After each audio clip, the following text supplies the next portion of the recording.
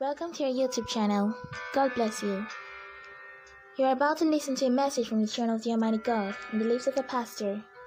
Your blessings await you as you listen and pray along. For any inquiry, partnership, and prayers, please check our YouTube page for contacts as you click the select icon. Please like, subscribe, and click the bell to be notified on upcoming videos. And do not forget to share. God bless you. Our Lord and Savior Jesus Christ, we come before you because you are the mighty God.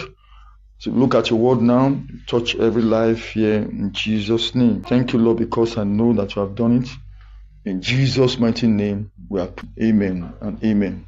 Today we shall be looking at abstractions and distractions on the way to exercising the power of God in you. Attractions and distractions on the way to exercising the power of God in you. But before then, Happy New Year. Happy 2024. And this topic is on the series Answer the Call of the Almighty God, part 155. Before then, the Lord is very particular about your life, about what you do, about how you live your life, because at the end of everything, the issue of your eternity and destination is what counts. He wants you to repent of your sins and dead works, the wearing of sexually seductive clothes, drug abuse and peddling, same-sex marriage, bribe taking, and corrupt practices, communal and city treasure looting, worldly music, financing and supporting of godly music, beauty pageant concerts, transgender practice, and all of that. Laughing at other people because they are aged and they're not married, the masturbation, the homosexuality, writing of hate-provoking letters, consumption of alcoholic beverages, going to sleep with other men because your husband can impregnate you, committing adultery with other women because your wife don't have the power to conceive, going to make babies with other women because you feel your wife has a challenge with impregnation. All of these things drops in other people's conversations with the intent to gossip what you have heard. Not with the intent of security, but with the intent to gossip what you have heard, irrespective of what you think that you have heard, correctly or incorrectly. Taking contents of the instruction to other people, living a double-faced life, pretentiously living differently at different places, and relating with other people with ulterior motives. Repent of these things now.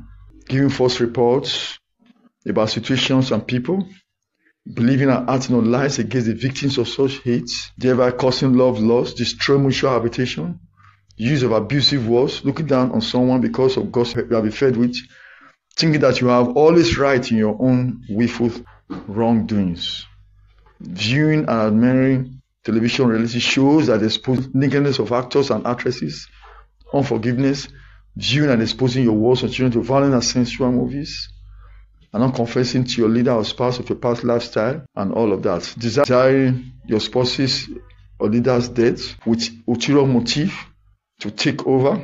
You repent of these things now. Secretly narrate your leader or spouse or other people of the same tribe or biological family so that he or she can be seen in bad light. Decision number to restitute the true paternity or maternity of children because of flimsy or righteous reasons. Loving the demonic personality in you and allowing it to operate through you instead of constantly and genuinely seeking deliverance from this evil practice. Deliberate refusal to return a holy gesture, despising other people, and wanting them to greet you first at all times. Always wanting your voice and opinions to be accepted by other people, failing to understand that whatever you have or whoever you are socioeconomically are all temporal, and failing to understand the temporality of life. Repent of these things now. Lying through complaints in order to give a true impression on the victim of hate, and all of these things, seeking other people's debt in order to undo their investment, stealing other people's spouses, known or unknown to them, messing up in sexual immorality with your married and married females around you. Repent of these sins now. Lying, stealing, organ, human trafficking, twerking of all forms, online prostitution, physical prostitution, seed of discussing, slandering, worldly dressing, no like dressing, marital fidelity, fornication. Repent of these things now. Sugar daddy practice, sugar mommy practice and all of these things, the witchcraft, the sorcery, repent of all of these things. Even though you cannot even remember, the important thing the Lord wants you to just come to Him and say, Lord, have mercy upon me. I promise you not to go back to sins anymore. Give you the power of sonship and daughtership and start having a new lease of life. That is what life is all about. all the craze and all the drives to get this, acquire this, and get this, and everything will end under the six feet. And your dying soul will ever stand, either in eternity in heaven or hell. Repent of these things now, since you have the gift of air in your nostril. And the Lord will help you and I. And today, like I said before, we're looking at the abstractions when you are trying to exercise the promise of God in your life, or you are trying to exercise the power of God in your life. We're looking at the distractions when you are trying to exercise the power of God in your life, or the promises of God in your life. They are the attractions and they are the distractions. Whenever you have the promise of God in your life, certain power gets into you because number one, if you are exposed to God's promise, it means that you have met a basic requirement to fulfilling that promise. So a certain amount of power from above that enters you. So when you are trying to exercise that kind of faith to ensuring that that promise comes to fruition, there are certain attractions and distractions, and the Lord wants us to look at them today. In 1 Samuel chapter 14, verse 4, and between the passages by which Jonathan sought to go over unto the Philistines' garrison, there was a sharp rock on one side and a sharp rock on the other side. And the name of one was Bozez, and the name of the other was Sene. Now, in 1 Samuel chapter 14, verse 5, the forefront of one was situated northward over against Mishmash, and the other southward against Gibeah. You see, everything that the Bible, either in the Old Testament or the New Testament, is for a reason. So why would the Bible record about one sharp rock here and the other sharp rock here? And uh, why was that? And why would the Bible say one was pointing towards Michmash and one was pointing towards Gibeah? How has that got to do with Jonathan and his armor bearer taking on the garrison of the Philistines, taking the war to them? How has that got to do with that? The Holy Spirit wishes to speak to us in answering those questions. Point number one missed feelings from the abstractions and distractions of the enemy of soul satisfaction. Point number two moving fast from the attacks and determination of the enemy of soul satisfaction, missed feelings from the attractions and distractions of, of, the enemy of your soul satisfaction. Because in the process of trying to get your soul satisfied, your body satisfied, your spirit man satisfied, there are missed feelings coming from the attractions and distractions. Sometimes we are confused. And sometimes this kind of hazy thought swarm our minds to say, did the Lord not promise this and that? Why is it that there's this attraction and there's this distraction? Mixed feelings. And then two, we should also understand that there are some fixed facts that we should know when the attacks of the enemy of our soul satisfaction want to invade our peace of mind. First point right away, mixed feelings for the attractions and distractions of the enemy of our soul satisfaction. Look at that verse again. Now, between the passages by which Jonathan sought to go over to the Philistines' garrison, there was a sharp rock on one side and a sharp rock on the other side. And the name of one was Bozez, and the name of the other was Senes. Now, let's understand something that in the process of carrying out the mandate of the Almighty God for your life, there are a number of distractions positioned to get you down. There are also a lot of legitimate attractions too, which will remove your focus from the Almighty God. It means that legitimate attractions, that is to say, your known attraction, that is to say, unsinful attraction, that is to say, the things you know. This one is your right. This one, of course, is uh, is fine. It could be your children, it could be your wife, it could be your husband, it could be your work, it could be those things you do normally, it could be your school. Very, very legitimate. They could also serve as distraction to fulfilling God's purpose for your life. And then you also see the distractions. This may not be your wife or your husband or your children, your school, your work. Not legitimate. It could be legitimate. They could also serve as distraction for you. Now look at it very clearly. That on their way, as they were going to meet the garrison of the Philistines, the two-man army, of course, Jonathan is armor bearer, they saw the sharp rock on this side and the other side. But did they touch the sharp rock? No, they never did. They saw them, and the Bible recorded them. Now, the sharp rock could be two things. Look at it one way. It could serve as a weapon to them, so that, oh, can we just lure the Philistines to come here and then we'll crush them here, let the sharp rock kill them or whatever? It could serve as that. It could be an advantage to them, and it could be a disadvantage to them. So, when it's an advantage to them, we'll look at it from the perspective of attraction. When it is disadvantage, we look at it from the perspective of disadvantage. When it is negative, it is disadvantage. If it is positive, it's an advantage. But the Bible did not record that Jonathan touched the sharp rock. The bearer touched the sharp rock. They passed between them. We shall be looking at the deceitful attractions and the way out. In Mark chapter 4, verse 19, and they are care of this world, and the deceitfulness of riches, and the loss of other things entering in shook the world, and they become unfruitful.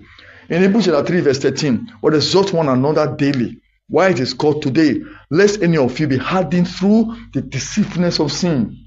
Yes, of course, you look at the distraction and the distraction. Yes, the sharp rock, here another sharp rock, and they were going. And they didn't touch them, they didn't do nothing to them. And they could be advantage to them and disadvantage at the same time. Now you'll see. They went through that part and nothing happened to those sharp rock. And they still went ahead. They were focused. Their minds were set. What they wanted to do, and they still went to the Philistines' uh, camp to do what they wanted to do. They were not carried away. They didn't stop for a while. Let's consider the advantage. Should we use it against these people? No. Now, let's a while. Let's be very careful, but they passed through. Now, look at it here. Now, the sharp will represent places, persons, and properties. Places, persons, and properties, because life evolves around these three things the places, the persons, and the properties. Yes, of course. We are existing now because we are talking from a place. And whatever plan you have this month, this year, and after, you want to move from a place to another place. Or whatever thing you are talking about is about property. Whatever thing you are talking about is about persons because you must relate with other people. Life revolves and evolves. Places, persons, and properties. That's all about life. You went to school because you want to live in a good place so that uh, you can meet with wonderful people, so that you can have this kind of possession. So you see, life revolves and evolves, it changes, revolves places, persons, and properties. The sharp rock represented the places, persons, and properties. But Jonathan and his armor bearer never spent time looking at those places, properties. They were focused on where they were going. What does that mean to us today as Christians in this life? That whatever thing the Lord has promised us, whichever direction that we have, we should not consider the places, persons, and properties because number one, the persons may give promises, the thoughts of those persons may give us hope, and the places too may give us promises. The thoughts and living in those places may give us hope, and the properties that we have may give us hope and may give us insight into other things. Don't look at the persons, don't look at the places, don't look at the properties. Look up to God. Look up to God. You may be working and you are very sure that end of the month you get this salary. You may be schooling and you're writing this exam. I wrote this exam very well. I'm sure of this A distinction. Don't look at what you are legitimately having access to. Don't look at, hey, this is my wife, this is my husband, these are my children. They must do this at this part. Don't look at any of those, but look up to God. Even though the person tells you, you know what, I'll be seeing you by 1 p.m. today, and I'm sure I had this shake in my hand, I'm going to give you this one. Don't look at that promise. Keep looking unto God, be focused. Paul second let us pray to understand the choice of the Almighty God on everything we do. Let us pray to obey the choice of the Almighty God for the person, the place, or property when we have already known it. Is key. Let's go to second green now. I will declare the decree.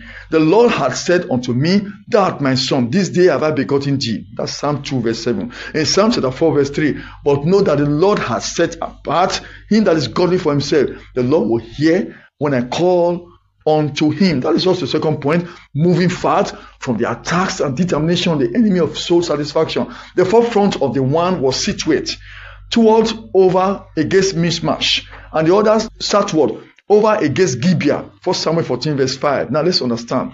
Your legitimate choices may become disadvantaged collectively if you do not follow the leading of the Almighty God for your life. It is important that you understand the mind of the Almighty God on every matter. Now, we understand that the sharp rock was an advantage. It was also a disadvantage. If you focus on the sharp rock, or your left or your right, may, may turn out to become a disadvantage and fight you back. That is the reason you don't look at the places, the persons, and the properties. Look up to God. if you may have this person in the back of your mind, this is the person I'm sure will give me this stuff. That may not be God's choice. Uh, this is the place I must get this one done. That may not be God's choice. This is the property. This is the assets. This is what I need to do to do this and achieve that. That may not be God's choice.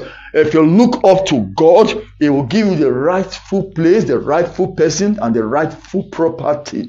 He will give you the right place. Don't look at the sharp rock. Don't be attracted by the sharp rock. Don't be distracted too by the sharp rock. Look unto the Almighty God. He is the one that will give you what He needs to do because He owns everything.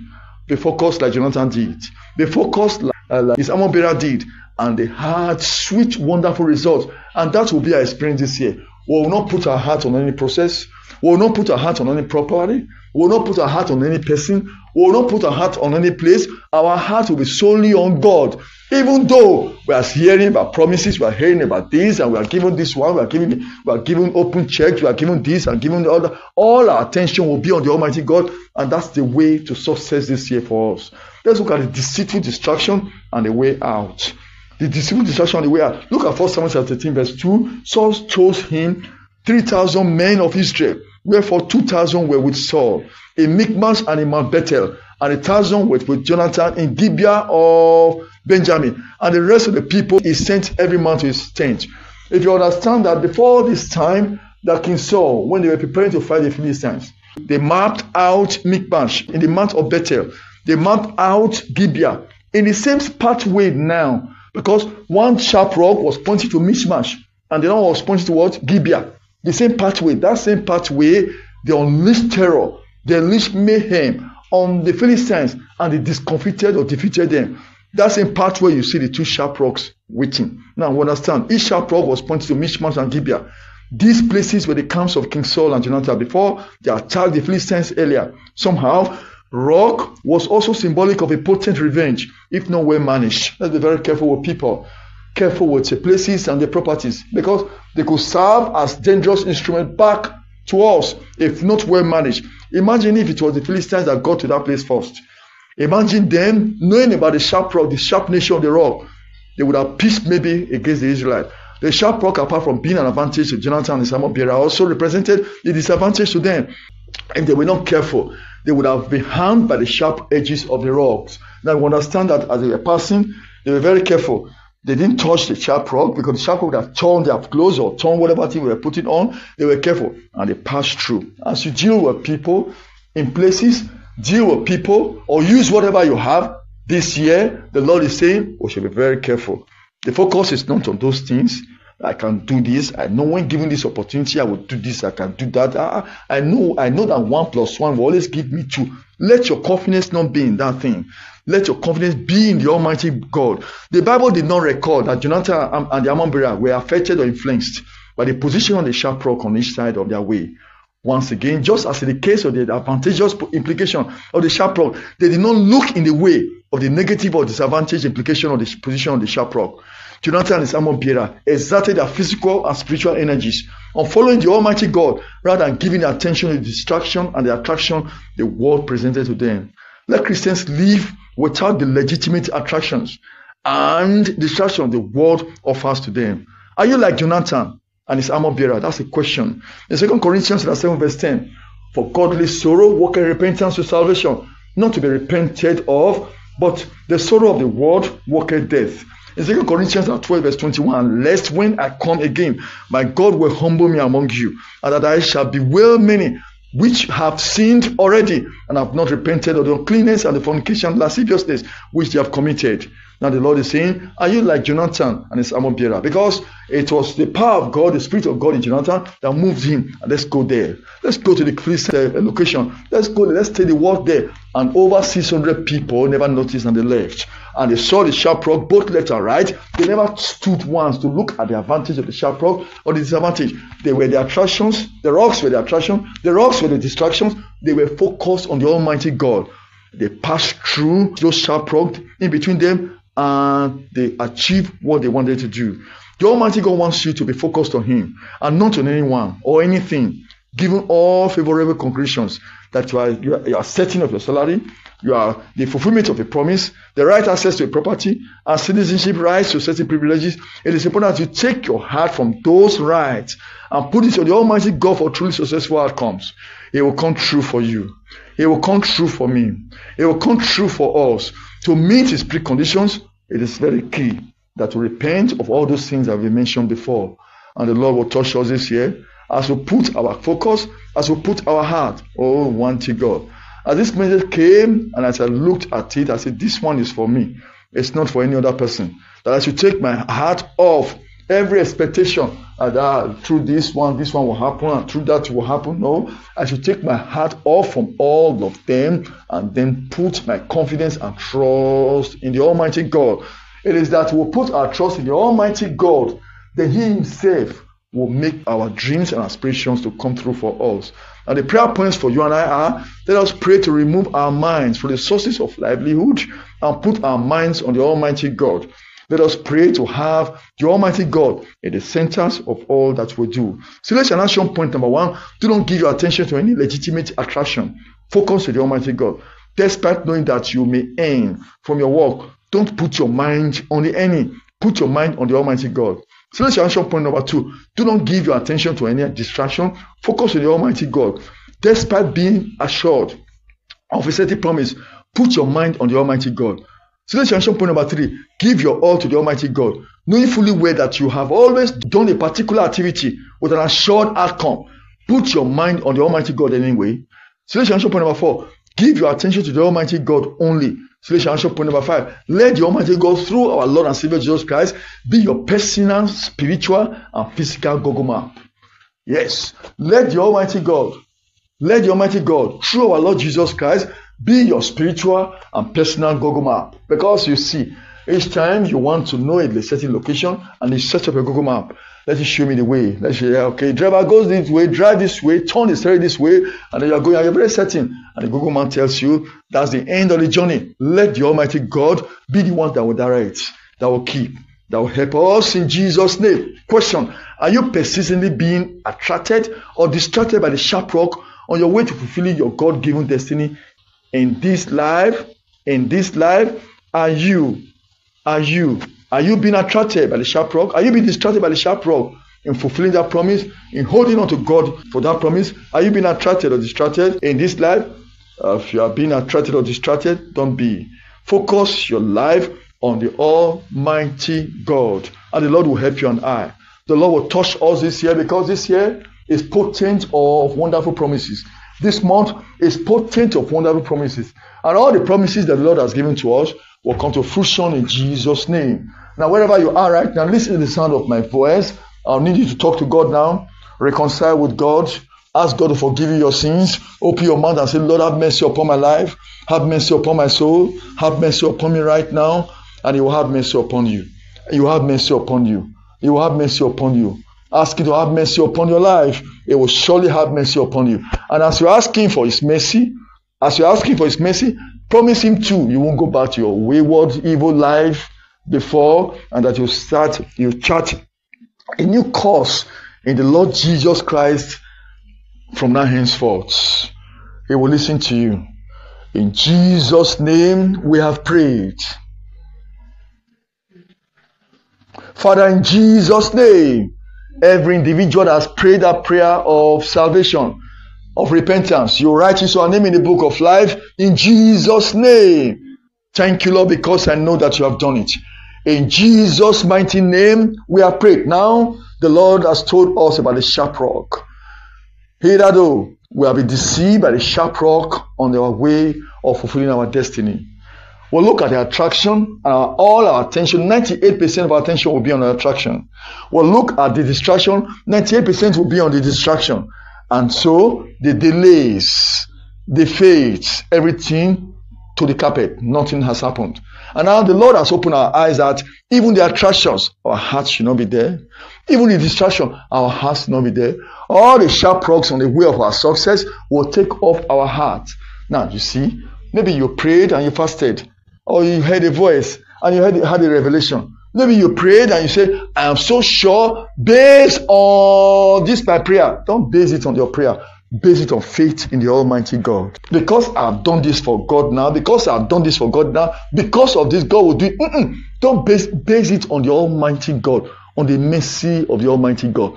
Don't let any place or person or property or whatever thing we have done uh, be our motivating faith to achieving or receiving from the Almighty God. We'll not look at the sharp rock. We will not meditate on the sharp rock on the left or on the right. We will put our heart on the Almighty God. Indeed, we will find satisfaction. Open your mouth and talk to the Lord and say, Lord, this month and this year, Lord, my heart will be centered on you, not on what or not on my ability, not on the places, not on people, not on places, not on, on persons, not on the properties, not on anything, but will be centered on you, so that all your promises that you have given to me, all that I'm expecting that you will do for me, will come to fruition will come to fruition. Once the devil knows that our attention is based on this, he can read the mind. Oh, they can. Oh, oh, okay. He or she is thinking about this now. He or she is thinking about that now. So God, can't you see? He doesn't even trust in you. He, she doesn't even trust in you. He's thinking about this. He's thinking about that outcome and the other outcome, and then at the end of the day, we're left stranded.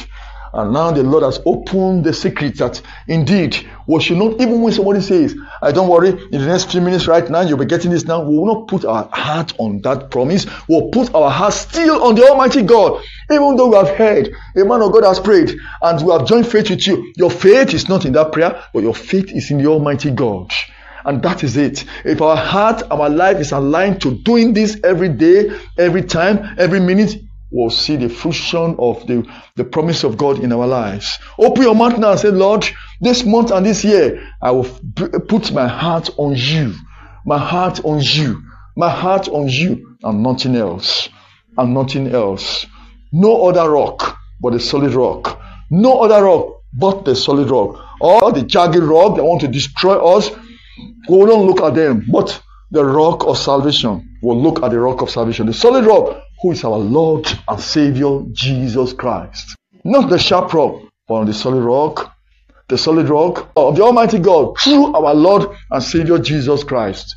In Jesus' name, Lord, we decree and declare all your promises for us hitherto oh, before now, last year that were not fulfilled, and the ones that are coming this year that we're expecting. We'll pray because you have revealed the secret to us that we should look up to you that we shouldn't look at the sharp rock on this on other side of the passage of our way. Lord, declare that all your promises, because we are focusing our attention on you now, will come to materialization today in Jesus' name. Lord, will see the experience, palpable experience, tangible experience. We'll experience in Jesus' name. From now henceforth, Lord, all our attention, our hearts will focus on you, not on any other thing. In Jesus' name, we'll look at the sharp rocks. We'll look at the solid rock of salvation. We'll look at the jagged rock on our left hand side or our right hand side. We'll look up to you in Jesus' name. Lord, on you through our Lord Jesus Christ, our health is secured. On you through our Lord Jesus Christ, our fulfillment is secured on you through our Lord Jesus Christ. Everything we ever desire will come unto us in Jesus' name. Lord, we thank you because I know that you have answered this year. You have answered now because we begin to see the manifestation of your power. Oh Lord, roving, touching every life here and those across the airwaves in Jesus' name. Thank you, Lord, because I know that you have done it. In Jesus' mighty name, we have prayed.